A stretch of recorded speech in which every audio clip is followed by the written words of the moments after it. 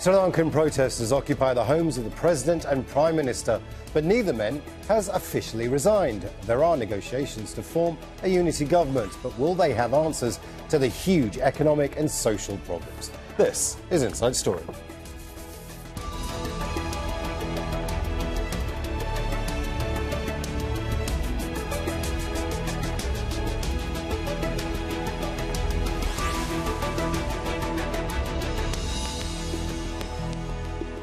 Welcome to the programme. I'm Imran Khan. People in Sri Lanka say it's time to take back control of their country. They'd protested for months against the nation's worst economic crisis in seven decades.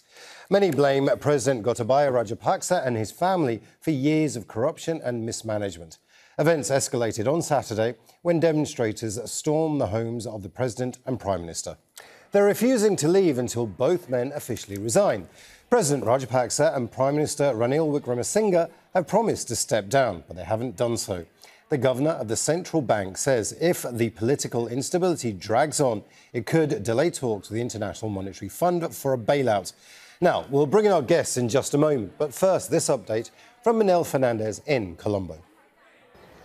As you can see around me, the party atmosphere continues. I'm at the presidential secretariat, the president's office. Obviously, President Gotabaya Rajapaksa had to move out of here about three months ago when that campaign, Gota Go Home, began continuously just outside uh, these uh, fences. And uh, just on the 9th of July, you had that big march, uh, tens of thousands of people converging on Colombo overrunning the president's official residence, also the prime minister's residence, uh, the, the burning of the prime minister's residence. Now you have a long stream of people coming in to visit all these properties. As you can see, they're taking uh, a chance to come in and see how their leaders functioned. Uh, but obviously a huge challenge ahead of Sri Lanka uh, as uh, we see this prospective changeover of power. Obviously, that has to be formalized, but we've got a massive economic crisis, unprecedented since the uh, independence in 1948. Uh, there's fuel, food, medicine shortages because the country has no money to buy these things. The central bank governor has said that uh, there has to be political stability very quickly in order uh, to have the international community, the International Monetary Fund with whom negotiations are taking place, in order to ensure that that support comes in, uh, that that must happen, political stability, and that is Sri Lanka's challenge right now. Minelle Fernandez for Inside Story. Now, the Rajapaksa family has been in politics since the 1930s. Mahinda Rajapaksa first became president in 2005. He appointed his brother Gotabaya as defense secretary and placed other family members in senior positions. Gotabaya won the presidency in 2019 and appointed his brother Mahinda as prime minister a year later. It's believed the brothers control up to 70% of Sri Lanka's budget at one point. The family denies this. But inflation has now hit 55% and could rise to 70% in a few months and the government's run out of foreign reserves to buy fuel and medicine.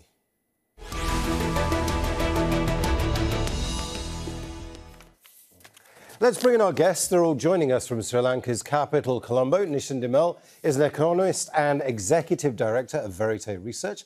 Ganeshan Wignaraja is a senior research associate for the Overseas Development Institute, ODI Global. And Weerakoon Wijewardena is a former deputy governor of the Central Bank of Sri Lanka and a columnist for the Daily Financial Times. A warm welcome to you all. I'd like to start with uh, Ganeshan. Ganeshan, we, here we are. We have a situation where the Prime Minister and the President are have disappeared effectively. We don't know where they are exactly.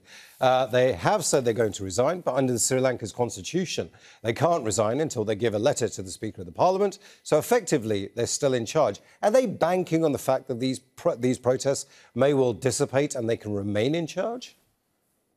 I, I don't think so. I think we have now a process where these leaders are exiting the scene, and we will have a new government an interim government that should be formed hopefully on the 20th of this month.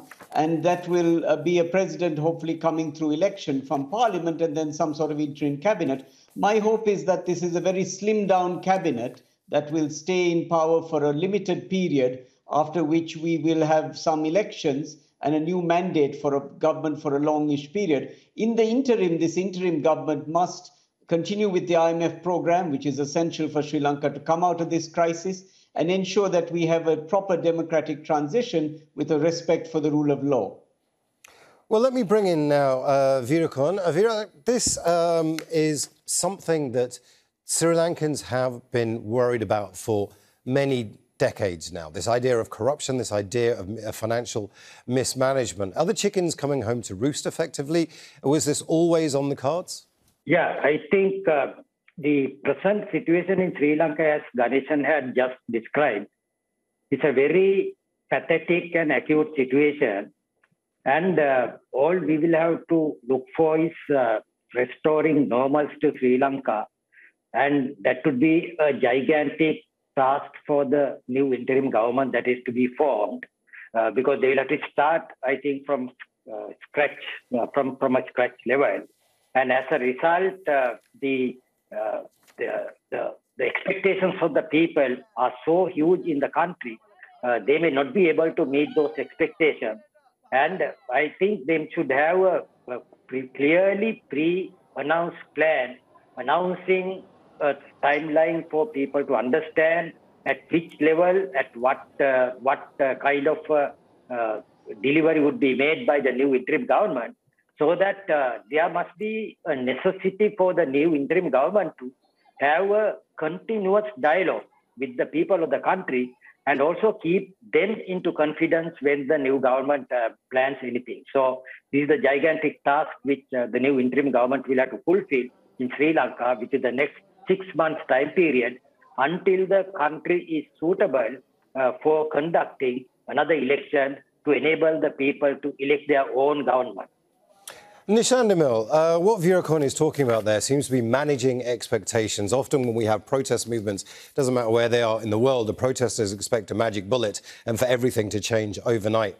That never happens. So managing expectations is absolutely crucial. But what are the challenges for this incoming government? So two things I think are quite critical, Imran. Thank you for bringing us in. One is, of course, dealing with the immediate shortages of fuel uh, and the power cuts that are in the country that's really causing difficulty for people's lives. And I think the failure in the current government is not only that there isn't adequate supply, but there isn't adequate belief that the available supplies are being given out in a rational or uncorrupt manner. So simply managing it well and telling people the truth and setting proper systems of distribution is already going to be an improvement. The second most important challenge, I think, is to deal with the deepening poverty. We expect poverty in Sri Lanka to rise above 50% by the end of the year. And it is imperative that Sri Lanka look at cash transfers for the poor and find mechanisms to target uh, the poor properly. We think that looking at electricity consumption is a great way to do that, and the technology is available to directly deliver support to people. And these are solutions that are available. And I think the current government's uh, sense of mismanagement and corruption was preventing even possible solutions from not being implemented at the, at the uh, proper time. And a change in government will build a kind of credibility and hopefully a little more competence uh, to, to help Sri Lanka move in the right direction, even though the results are still slow and long time coming. Uh, Ganeshan, uh, what we're talking about now then seems to be this idea that there are, there are concrete steps you can take, this idea of managing expectations, communicating with the country and having some easy fixes. But there is a fly in the ointment. We have these talks going out with the International Monetary Fund right now. Uh, whenever the International Monetary Fund get involved or the World Bank get involved in a crisis, they often introduce austerity measures which actually impact the most poor of that country. And again, the anger rises. Where does the IMF fit into all of this? So essentially, the IMF team was here a couple of uh, weeks ago and have left, and a staff level program is to be worked out. We understand that some of the details of this program are to have tax rises across the board, Uh, secondly, to make sure that the interest rates are much more realistic, which means upward pressure on interest rates to try to reduce inflation. And a third measure is anti corruption measures to ensure that the administration works better and state owned enterprises are more accountable. Now, one very important aspect of this IMF program is that they're not trying to tinker too much with state expenditure, which will stay at quite a reasonable level, thus ensuring that the anti poverty program that the country has uh, will be maintained. Uh, it's not a perfect program, the Samurdhi program, but uh, can deliver some relief to the poor. On top of that, we have to have what Nishan was talking about, which is um, what they call conditional cash transfers uh, to the poorest people. And that should come through with some assistance from other multilateral donors. Now, I believe that it is hard to target this kind of program on the poorest because our targeting mechanisms aren't perhaps so uh, well developed. And uh, so, if we do these things right and gradually get the economy on some stable footing, some kind of return to growth may occur. This year, we will have negative growth, which will be a terrible phenomenon for us. But hopefully, next year and the year after, we'll have some kind of growth. And growth is a very powerful mechanism for this country to gradually create the jobs it needs for its youth and also gradually create some kind of return slowly to a, a sort of a prosperous country. And I, I, think this is doable if we do the right things right now. Now, of course, political will is essential, mm. and hmm. this new government will have huge expectations upon it. Uh, this government will have huge expectations upon it. That's quite a strong statement there from uh, uh, Ganeshan. Uh, let's just talk to Weerakoon uh, at the moment. Often, when the IMF get involved, and this is a question I do want to ask you uh, because you were the deputy governor of the central bank, uh, austerity measures are brought in. We're talking about tax rises there uh, and things of that nature. It's often the middle class that get hit uh, with those things. Uh, Sri Lanka's middle class is already under attack and has been for so, you know, several years now because of the corruption in the country how much of this is going to impact them and how much of this is going to be unpopular amongst voters? Well, of course, not only the middle class of the country, the people of all income levels in Sri Lanka would be affected by the uh, new uh, austerity program which IMF is planning to implement in Sri Lanka. As a result, as I have mentioned earlier, it is necessary for the new government to uh, communicate with the people the correct position, get their views at every stage of the new uh, measures that they are going to implement, and for that purpose, they have to get their support. For example, now the one of the requirements of the IMF is this uh, debt restructuring, which has to be a uh, precondition for the IMF bailout. But in addition to that, there are many other requirements which the IMF has insisted on. Uh, one important thing is that the government should consolidate its budget, which means that the budget deficit will be brought to an affordable level by increasing the revenue as well as cutting down the expenditure, except what is meant for the poor people. Now, in this case, the new government that is to be formed uh, after 20th, hopefully, uh, will have a gigantic task because our treasury is is empty. Not only actually it is empty, it is negative. For example, mm. in hmm. terms of the constitution of Sri Lanka, uh, we have a consolidated fund into which all the monies of the government would uh, be, be credited and all expenses will have to be done by debiting that particular consolidated fund. That particular consolidated fund is negative. It is overdrawn to the extent of uh, nearly 2 billion Sri Lanka rupees. In addition to that, there is again uh, nearly 1, 1 trillion Sri Lanka rupees uh, has to be uh, had been overdrawn by the government by way of overdraft from the two state banks mm. and the central bank. Right. So altogether, the government finances are in fact negative, and the the new government will have to start from the negative position and convert it to a positive position, and which is the biggest task that they have to accomplish during their uh, period. I have to say, all three of you sound like you're very realistic about what the future holds, but you also seem to be quite uh, hopeful. If you know the government can manage expectations, if it communicates, if it takes certain measures, then perhaps this is a crisis that the government can get itself out of. The new incoming government can get itself out of. But I want to talk about the old government, Nishan de Mel. How did the Rajapaksas manage to mess up what was quite a strong economy so spectacularly? So I think um, what we can see uh, and learn from Sri Lanka's experience is that a few wrong moves unchecked uh, can lead a country into very dangerous, irrevocably downward spirals in terms of its economics. Take one example. Uh, the president banned chemical fertilizer overnight and claimed that he was going to make agriculture based exclusively on organic, on organic fertilizer in one year. That was a crazy policy by any account and I think the unaccountability of the president, that he ruled as if he was running an authoritarian state, allowed him to take, make very bad policies and prevent the democratic mechanisms to correct them. We know that you know one of the things that democracies are good at is preventing extremely bad policies. That's why famines never occur in democracies.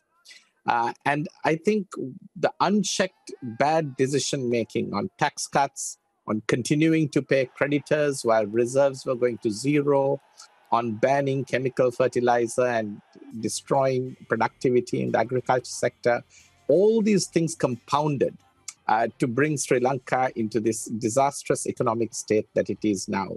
And undergirding that is corruption. Mm. Uh, one of the things we must ask of the IMF is that uh, it is macro critical uh, to deal with corruption if you want to fix the Sri Lankan economy, or we will be back where we are in a few years' time. Uh, the Attorney General proved unreliable and in political capture by reversing much of the indictments against politicians that were already in court. Mm. So we need an independent corruption prosecuting office. Asset declarations cannot be secret. The IMF in many countries has asked for them to be transparent as a condition of its support. And Sri Lanka will need, and this is the last thing I'll say, an anti corruption office that is supported by an external agency such as the United Nations, because Sri Lankan politicians on both sides have so far proved unreliable when it comes to taking action on corruption. And taking action on corruption is a fundamental part of the fix for the Sri Lankan economy going forward. Uh, Ganeshan, seeing the Rajapaksas in the dock, seeing this anti-corruption courts take place, people held accountable, court cases happen, is that a dream? Do you think that can happen? No, I don't think so. I think it's possible to change institutions and structures as we have seen in other parts of East Asia. On this uh, issue of foreign aid and assistance that we are going to get, both humanitarian and IMF, we have to make sure we do two things to ensure that this is properly effective. The first is we must make sure that all of this aid goes right throughout the country, that it goes right from Jaffna to the east coast to the deep south to the central part of Sri Lanka. It shouldn't just be provided to Colombo and Gampaha, which is the central uh, part of the country with the economic center. The second very important thing, as Nishan has said, is that the aid should be fully accounted for. Every dollar that is given to Sri Lanka should be properly accounted for and looked after, and there should be very, very low admin uh, overhead on that money, and certainly the siphoning off, uh, which had occurred in the past, should be very carefully checked. The risk, if we do not do this properly, is that countries where taxpayers are providing money for Sri Lanka will get fed up with us and they will not be so generous, and that will be a humanitarian disaster for Sri Lanka and the people of Sri Lanka. So one expects this new government to have very, very strong anti-corruption policy and be very honest with the people about how it's spending foreign aid, not just for the people of Sri Lanka, but also for foreigners whose taxpayers are uh, providing funds for Sri Lanka to rescue it from this calamity that we ourselves have brought upon us, at least partly. Uh, we're talking now about a strong anti-corruption policy. Surely a part of that is holding the people who were corrupt to account, putting the Rajapaksas on trial. Do you think that could ever happen? Well, of course, you know, there is another dimension now which has just uh, emerged uh, for the IMF bailout package. The US Foreign Relations Committee, in a Twitter message about a week ago, had announced that there are three other conditions should be satisfied by Sri Lanka to get this IMF bailout package. One is the central bank should be made independent. Number two is what uh, both Ganeshan and Nishan had been uh, explained to us now. Second one is the uh, the uh, there should be rule of law, observance of the rule of law. Third one is there must be an effective anti-corruption program to be implemented by Sri Lanka in order to qualify for the IMF bailout package. So what it means is that the new government has no choice now. Whatever the difficulties that they have, they will have to have a very quick and fast uh, legal reform. As uh, Nishanta had said, the Attorney General had been captured by the uh, politicians in the past, that uh, Attorney General should be freed. At the same time, the law enforcement agencies should be freed. And the uh, anti-corruption body that we have already set up had been, uh, its powers have been diluted by the 20th Amendment to the Constitution, which Gotabaya Rajapaksa had implemented. So all these things will have to be reversed very quickly in order to enable Sri Lanka to satisfy the donors because uh, Ganeshan has very correctly said that in addition to the IMF money, we need this humanitarian aid also mm, as right. quickly as possible. If these if these things are, are not done, I don't think the humanitarian aid would flow into Sri Lanka. Nishan, I've covered the Middle East and South Asia for many, many, many years. I've seen what the IMF can do when they do come into a country. Uh, they come in with ev- everything that you guys have just said. They come in with austerity measures, anti corruption measures, the promise of a lot of money coming in. And then they are faced with a government that simply doesn't change. Now, your thesis seems to be that this next incoming government, although it has a challenge on its hands, can change. But there's a lot of people that are looking at Sri Lanka now going, it's still a lot of the same faces that will be in charge. Can this government change? Thank you, Imran. Um, it is a, a, very serious concern that Sri Lankans uh, don't trust most parliamentarians. And I think, for the sake of the credibility of government, it's not enough for the government to change leadership and hands today. We need an election, and we need it as fast as possible. It is only a newly elected government in which new people who are part of the protest can also compete and come into parliament that will finally have adequate legitimacy in Sri Lanka to drive the reforms as well as the measures that are needed for economic recovery going forward. I think that the culture of our politics, which has been seeped in corruption and incompetence, is what young people have decried today. Mm. And they need a chance uh, to exercise their vote to say and say, we want something different. And and that is the cry of the people, which I think has to be heeded as soon as possible. Ganesh, there is the argument to be made that Sri Lanka is a robust democracy. It does have democratic procedures and institutions in place. Is it robust enough to do what the three of you are saying needs to be done? I think my sense is that we have to at least try to try to create a new beginning for Sri Lanka. And I personally see Sri Lanka as a kind of a post conflict state, which is still having the legacy of a long 30 year old conflict, and its institutions have been affected by this long conflict. And we are now trying to rebuild uh, going forward.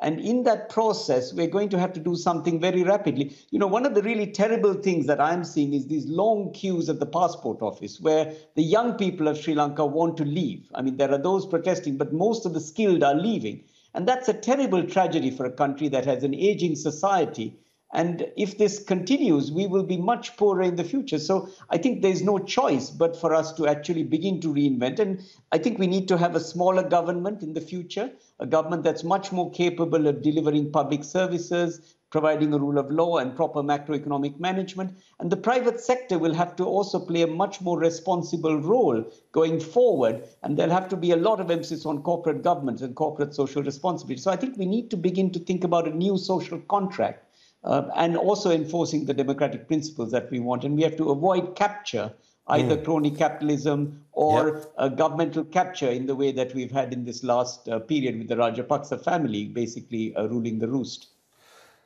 I want to thank all our guests, Nishan de Mel, Ganesh Wignaraja and Weerakoon Wijewardena. And thank you too for watching.